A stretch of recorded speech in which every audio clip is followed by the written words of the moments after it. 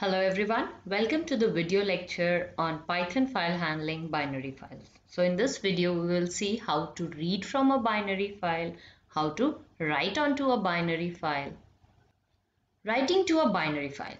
The open function opens a file in text format by default. So if we want to open the file in binary format, we need to add b to the mode parameter.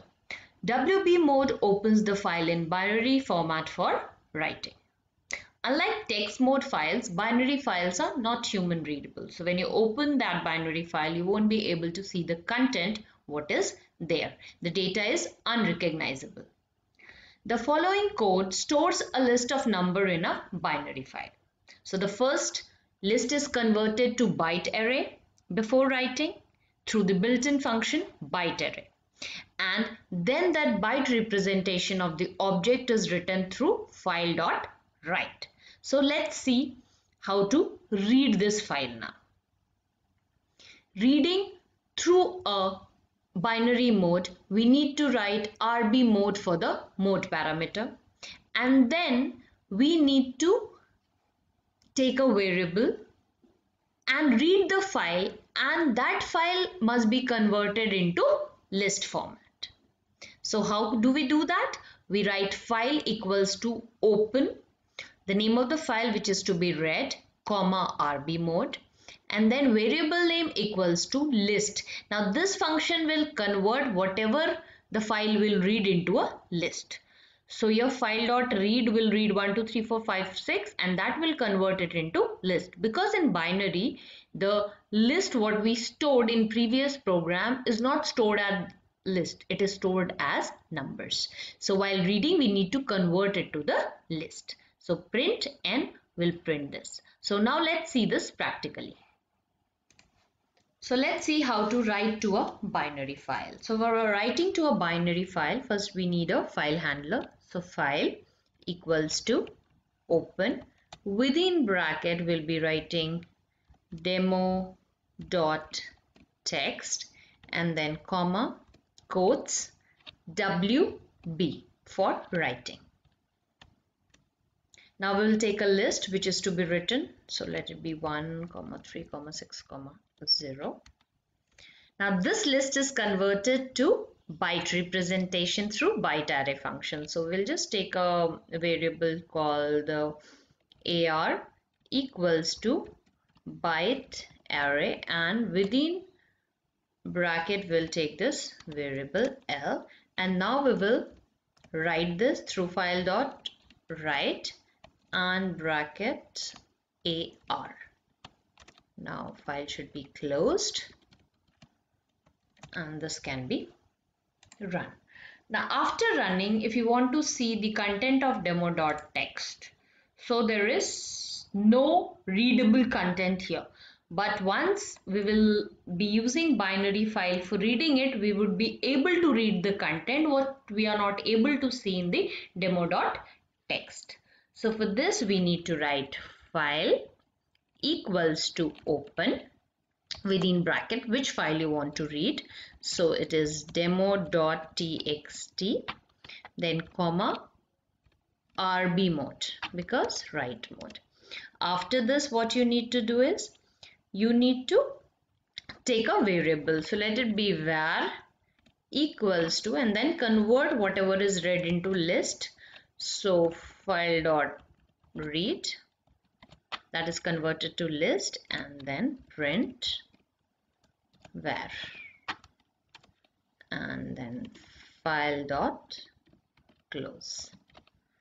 Once we run this we have 1360 as the content of the file which we have written earlier. So you can see how we can write and read from a binary file. Now uh, let's see if we want to write some characters instead of uh, numbers. So a d u and p okay and we'll use same we'll write demo one dot text for writing and we will get the error because we can only use file dot write to write binary representation. Now byte array doesn't convert the list of characters to byte array. It can only convert the list of numbers to byte array. So for writing this kind of information, we need to use some other method. So let's see what method is used. We also have a facility to read or write a binary file through pickle module. So if you want to store the list of names or list of characters, we cannot use through byte array or file.write. So for that we need to use pickle module. Now let's see what is pickle module. So Python pickle module is used for serializing and deserializing Python object structure. So let's see what is serializing. The process to convert any kind of Python object into byte stream that is in form of zeros and ones is called serializing or pickling. Now, the other way around that is deserializing is the process of conversion of byte stream back into the Python object. It is also called unpickling. So why do we require pickle? Because in real world scenario, the use of pickling and unpickling is widespread because it is easily transferred from one server system to the another server system and it is very easy to store in a file or database. Now we will see how to pickle a list.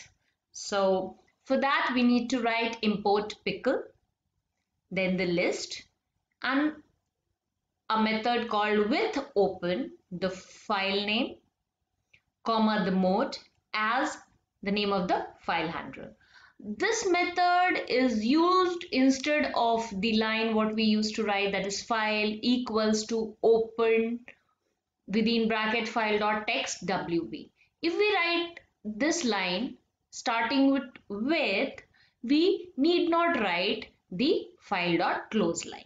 So you can use this if you want to avoid to close the file. Otherwise you can write the traditional method that is file equals to open file dot text comma wb. Then you will write pickle dot dump the name of the list or the content whatever you want to write comma the name of the file object. Now let's see how to unpickle. So unpickling is done through traditional way you can see data equals to open dot file dot text comma rb mode. We'll take a variable and in that we will load the data that is the name of the file handler and then we will print that data and that data will come in the format as we have stored. So let's see this practically. Let's see now how to store the list of characters. So for that we will just write the line that is uh, the open mode demo one.text wme mode and then the list of character. Now once we have taken this list of character uh, we will just write let it be the first line to write import import pickle. Once we have written this what we need to do is now we have to dump the data first. Okay. So for that we need to write pickle dot dump within bracket the name of the list or the content what is to be written comma the name of the file handler and then file dot close we will run this so we'll see here demo dot demo one dot text is created and we cannot read this file. So it is not UTF-8 encoded. So we cannot read but through unpickling we'll be able to read the file. So this has to be in RB mode and then we have to take a variable and we have to write pickle dot load file okay and this can be given in a variable let it be list equals to and then we will write print list now let's see so whatever list we had written we could read it back. So we can do this for storing the dictionary and other things as well. So let's get back into theory and then see. Now we can also pickle the dictionary. So for that we need to write import pickle, then the name of the dictionary and the values of the dictionary. We'll open a file, we'll dump in the same way. Again, we will read the file and then we can just load the data and here you have seen that I have wrote emp.pickle. So we can also use text file as well as pickle file here. So let's see how to write a dictionary first. So for that we will be just opening a file again in writing mode. And instead of text, I'll be writing pickle here. Let it be demo 2.pickle and we'll take a dictionary let it be the roll number and marks okay? So 134 comma 2 35 comma 5 56 okay? And then we will use the same thing that is pickle dot dump pickle dot dump within bracket d comma file and then close.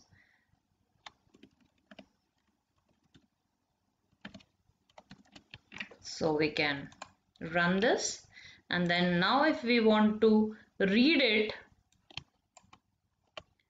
we'll just read so it has to be demo 2 dot pickle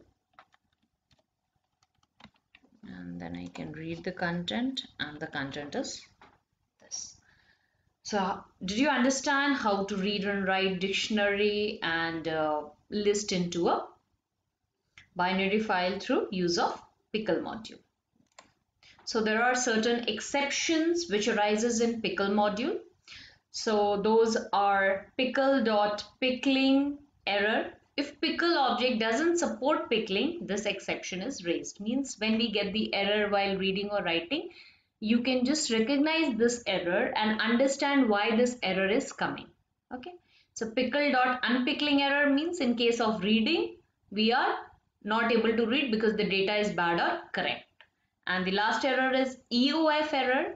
In case the end of file is detected, this exception is raised. That's all with the binary files. So let's see few questions.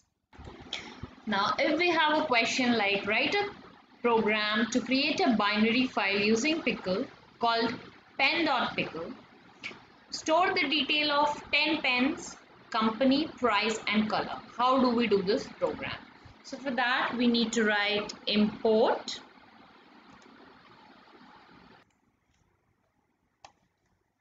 pickle and then we will open a file. Let it be out equals to open. And within bracket we need to open this pen dot pickle so in writing mode so wb